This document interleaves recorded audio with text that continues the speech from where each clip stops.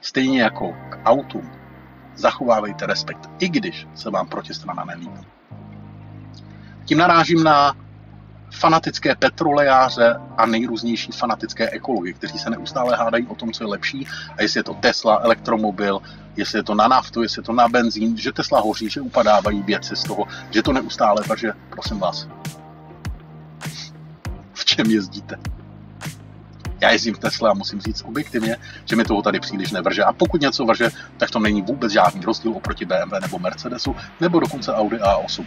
Já bych mohl napsat knihu o tom, jak prémiové značky dodávají auta, v jaké kvalitě a co všechno tam chybí. Například když jsem si v roce 2014 objednával Audi A8, tak jsem na ní čekal 6 měsíců a když přišla, tak u bezpečnostního pásu chyběla ta pojistka, do kterého zacvakáváte. Takže mi to auto zase vzali a dalších šest týdnů jsem ho neviděl. Takže dámy a pánové, pokud jezdíte trolejbusem, tramvají, autobusem, máte omlácenou fábii, která je stará 15 let, nebo jste baťůškář, který si myslí, že může do všeho kecat, nedělejte to. A na druhou stranu, pokud jste fanatický ekolo, neobtěžujte lidi svými výlevy o tom, jak byste si sedli za výfuk a popíjeli tam s někým kávu, protože zcela upřímně, to neudělá žádný normální člověk. Já jsem nepotkal ještě nikoho, kdo by si v garáži sedl za výfuk, nastartoval auto a začal tam popíjet kávu. To je argument, jak z mateřské školy. A tam by nejsme. Mimochodem, když jsem tady v tom autosalonu, tak se dívám kolem dokola a oni tady mají. To je úplně neuvěřitelné. A nejde mi to přepnout, já nevím proč. Já jsem si koupil nový stativ a teď na to natáčím. Tak uh, oni tady mají superkáry v tom Advantage Cars. Já to musím říct teda.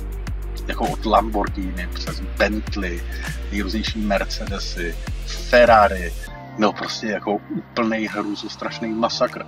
Takže pokud jste fanoušci aut a máte rádi, když to řve prostě a ten motor zaburácí, a nebo máte rádi fakt jako velký auta, které jsou dobrý a v podstatě kdo by nechtěl jezdit Bentley, že? tak, eh, tak to je fajn skočte se sem podívat, jako stojí to za to i přes bílou, na to, když jdete dovnitř a fakt ty auta si projdete. Hmm, neuvěřitelný. Mimochodem stejný je to s vyjednávání. I tam do svého týmu musíte najít ty nejlepší kousky. Vůbec nehraje roli, jakou kdo má funkci a co má napsaný v pracovní smlouvě.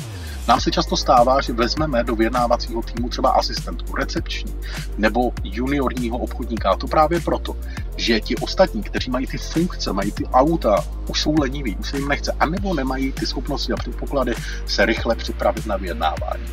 Mimochodem, když byste vzali se svým klíčovým zákazníkem nebo dodavatelem vašeho key accounta na vyjednávání, který se má starat o vztahy, a to je velmi častá myšlenka, oni říkají, vezmeme tam key accounta, protože mu to zařídí, on se s nima zná tak likvidujete svůj vlastní biznis. Ten člověk je tam kvůli tomu, aby budoval vztah, aby když všechno skolabuje, aby když to zkrachuje, tak aby ten biznis zachránil. A tyhle ty divoký nápady nejrůznějších vinvinářských baťuškářů vedou k tomu, že se stabilně poškozuje vztah. Proti Tesla jsem viděl spoustu argumentů a spousta lidí mi říkala, že to ještě není vychytaný a nekontrolují kvalitu a že servis nedělají a že se na vás vykašlou, tak já tuhle tu zkušenost nemám. Já jsem při předání měl drobnou úděrku kůže ve dveřích, které bych si vlastně ani sám nevšiml. A oni mi to nejenom, že řekli, ale oni mi to i opravili a to velice rychle